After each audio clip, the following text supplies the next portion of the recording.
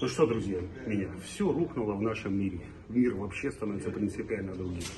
Наши многие рестораны, многие коммерческие объекты, многие базы отдыха привыкли прекрасно коммуницироваться через социальные сети со своими клиентами.